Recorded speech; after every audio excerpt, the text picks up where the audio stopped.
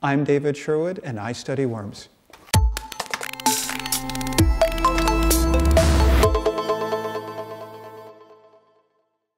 Their common name is C. elegans, yeah, which means elegant, and it is an incredibly elegant animal. And it's short for Caenorhabditis because no one wants to say Caenorhabditis elegans.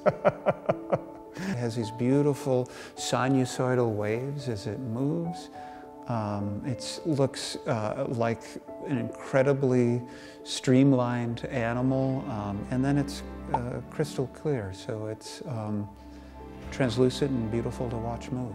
These worms are incredibly small. They're about a millimeter, so most people would have never seen them, and yet they're surrounding us. If we were to go outside right now and dig up soil and put it on a petri dish, these worms would crawl right out.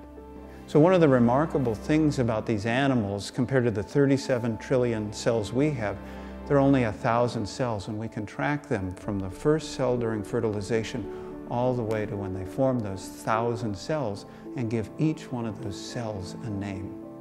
And it has all the tissues that we have. So you take the ability that there are very few cells that are cells like ours, we can watch all those cells, and then this darn organism develops from embryo to adult in three days. So it's like the Porsche of animals in terms of its speed.